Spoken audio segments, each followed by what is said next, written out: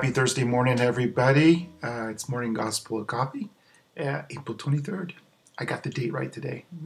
Has to do with the Mass yesterday. Anyway, so our Gospel is from John chapter 3, continuation, uh, verses 31 through 36. So Jesus is still talking with Nicodemus. Beautiful little scene. Again, he's talking about you know what's coming from above, that he's coming from above, bringing the divine teachings to hear what is below to help transform this world. And those who follow and listen to the Son of Man, Jesus, uh, has eternal life.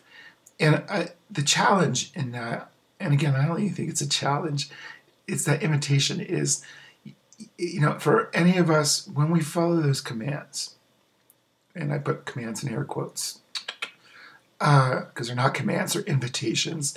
Uh, they're actually they're, they're natural things that we are to experience anyway, because we're created from God. But when we practice those virtues, uh, we do find life. We participate in life. Any of those who has really forgiven someone experiences that that release from all that anger, from all that hate, from all that that poison that keeps us down. I mean, and it's like, wow. Any person that practices generosity and compassion experiences that life um, you know that that joy of of helping others, that joy of being free, not not worrying about this and that. You know, do I have enough toilet paper, ammo, all that kind of stuff. You know, anybody who practices that that virtue of patience and just kind of waits and humility. Uh, my ego got the better of me again last night. But when we practice humility, it's like, oh yeah, yeah we're much more engaged in living when we're not trying to force I'm not trying to force my way into this.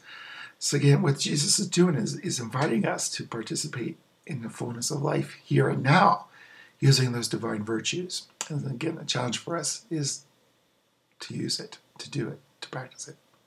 All right. Hopefully that makes sense. Uh, it is Thursday, so I'm out of here until next Monday. Although uh, this weekend we'll have the uh, we'll, we'll stop at daily mass today parish with Father Mike. Um, and then on mini concert on Sunday, and then Mass at 9:30 a.m. Uh, I'm also uh, looking at Saturday. Father John Bain is coming to our parish. It is his 50th anniversary. Happy anniversary, John Bain. And so he's going to do Mass at our parish, and I'm going to convince him that he needs to put it online so people can watch too. Uh, I just don't think it's right for someone to celebrate their 50th anniversary as a priest all alone or just the two of us in a parish. I think we all need to see that. Anyway, you guys take care. And also, Saturday is Bishop Straling's birthday as well, 87. So, happy birthday, Bishop Straling. Take care, guys. See you later.